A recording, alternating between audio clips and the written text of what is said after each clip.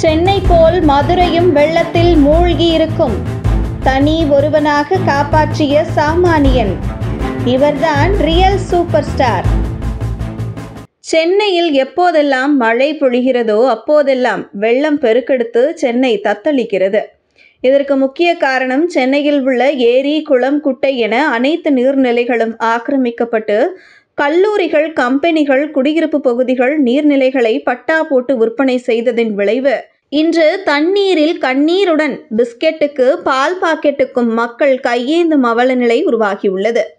இந்த நிலையில் இன்று சென்னையில் மக்கள் வெள்ளத்தில் தத்தளித்து கண்ணீருடன் நிற்கும் அவல நிலை மதுரைக்கு வந்திருக்கும் சூழலில் தனி ஒருவனாக தடுத்து நிறுத்தி அந்த பகுதி மக்களுக்கு கடவுள் போல காட்சியளிக்கும் மதுரை கூத்தியார்குண்டு கிராம முன்னாள் ஊராட்சி மன்ற தலைவர் முத்துராமன் என்னவெல்லாம் செய்துள்ளார்? அதற்காக எவ்வளவு பிரச்சனையை எதிர்கொண்டுள்ளார் என்பதை முழுவதும் பார்த்தால் ஐயோ இப்படி ஒரு மனிதன் எங்க பகுதியில் பிறக்கவில்லையே என்கிற எண்ணம் உங்களுக்கு நிச்சயம் தோன்றும்.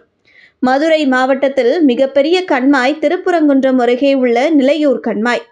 எழுநூற்று நாற்பத்தி இரண்டு ஏக்கர் பரப்பளவில் அமைந்துள்ள இந்த கண்மாய் சாத்தனூர் அணையை விட ஏழு மடங்கு பெரியது. வைகை அணையில் இருந்து திறந்து விடப்படும் நீர் சோழவந்தான் வழியாக இங்கே வந்தடைகிறது.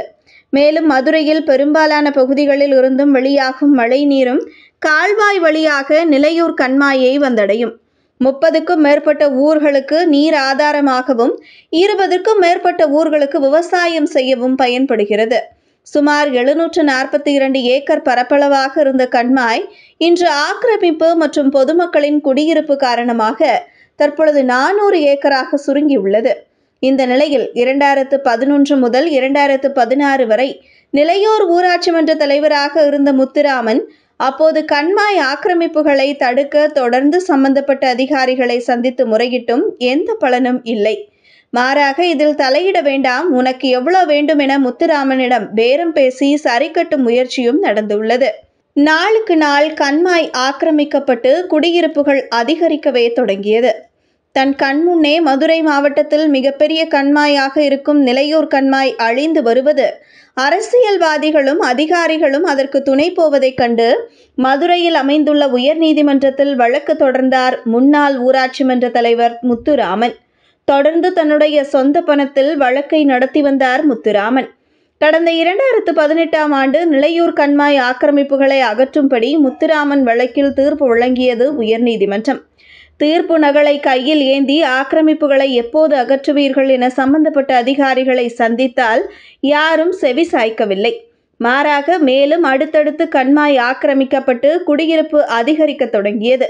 ஒரு கட்டத்தில் விவசாய பொதுமக்களை ஒன்று திரட்டி கடந்த இரண்டாயிரத்தி இருபத்தி ஒன்றாம் ஆண்டு கூத்தியார்குண்டு அருகே உள்ள தேசிய நெடுஞ்சாலையை தனி ஒருவனாக தலைமை ஏற்று எந்த வாகனமும் செல்ல முடியாதபடி மறைத்தார்.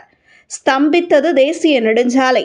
சுமார் பல கிலோமீட்டர் தூரம் வாகனம் ஸ்தம்பித்து போய்விட்டது. காவல்துறை அதிகாரிகள் உங்கள் மீது வழக்கு போடுவோம் என மிரட்டினார்கள். கையில் நீதிமன்ற தீர்ப்பை காண்பித்து சம்பந்தப்பட்ட அதிகாரிகள் இங்கே வர வேண்டும் என உறுதியாக இருந்தார் முத்துராமன். அவருக்கு விவசாய பொதுமக்களும் துணையாக கலைந்து செல்லாமல் இருந்தனர். அதிகாரிகள் சம்பவ இடத்திற்கு வந்தனர். சாலை மறியல் கைவிடப்பட்டது. அதன் பின்பு தொடர்ந்து அடுத்தடுத்து பேச்சுவார்த்தை நடந்தது. இதன் பின்பு இனி நீர்நிலையில் கட்டிடம் கட்ட அனுமதிக்க மாட்டோம் என அதிகாரிகள் உறுதியளித்தனர். இனிமேல் நிலையூர் கண்மாயில் கட்டிடம் கட்டப்பட்டால் மக்களை திரட்டி மீண்டும் சாலையை மறிப்போம் என்றார் முத்துராமன். இந்த சம்பவத்திற்கு பின்புதான் ஆக்கிரமிப்புகளில் இருந்து மதுரை காப்பாற்றப்பட்டது. மதுரை மாவட்டத்தில் மிகப்பெரிய கண்மாயாக திகழும் நிலையூர் கண்மாய். முத்துராமன் தனி ஒருவனாக சட்ட போராட்டம் நிகழ்த்தி விவசாய மக்களை திரட்டி சாலை மறியல் செய்யவில்லை என்றால் சென்னையில் பல ஏரிகள் காணாமல் போனது போன்று நிலையூர் கண்மாய் காணாமல் போயிருக்கும். கண்மாய் காணாமல் போன பின்பு விவசாய நிலமும் வீட்டுமனை பட்டாவாக மாறியிருக்கும். மதுரையில் கனமழை பெய்தால் குடியிருப்புகள் வெள்ளத்தில் மிதக்கும். அப்பகுதி மக்கள் பால் பாக்கெட்டுக்கும் பிஸ்கெட்டுக்கும் கையேந்தி நிற்கும் சூழல் ஏற்பட்டிருக்கும். அந்த வகையில் கடவுள் போல் நிலையூர் கண்மாயை காப்பாற்றிய நிலையூர் முன்னாள் ஊராட்சி மன்ற தலைவர் முத்துராமனை அந்த பகுதி மக்கள் கொண்டாடி வருவதை பார்க்க முடிகிறது. மேலும் முத்துராமன் போன்று சுமார் நாற்பது வருடங்களுக்கு முன்பு சென்னையில் ஒரு முத்துராமன் இருந்திருந்தால் சென்னையில் பெரும்பாலான ஏரி குளம் குட்டை என அனைத்து நீர்நிலைகளும் காப்பாற்றப்பட்டிருக்கும் என்பதே நிதர்சனம். மேலும் சமீபத்தில் வைகை அணையிலிருந்து நிலையூர் கண்மாய்க்கு திறந்துவிடப்படும் தண்ணீர் வரும் கால்வாய் ஆங்காங்கே குப்பைகளால் சாய்ந்த மரங்களால் அடைப்பு ஏற்பட்டும். ஆங்காங்கே தண்ணீர் தேங்கி நின்ற நிலையில் தன்னுடைய சொந்த செலவில் சரி செய்து நிலையூர் கண்மாய்க்கு தடையின்றி தண்ணீர் வருவதற்கு வழிவகை செய்தவர் முத்துராமன் என்பது குறிப்பிடத்தக்கது. உங்கள் தின சேவல்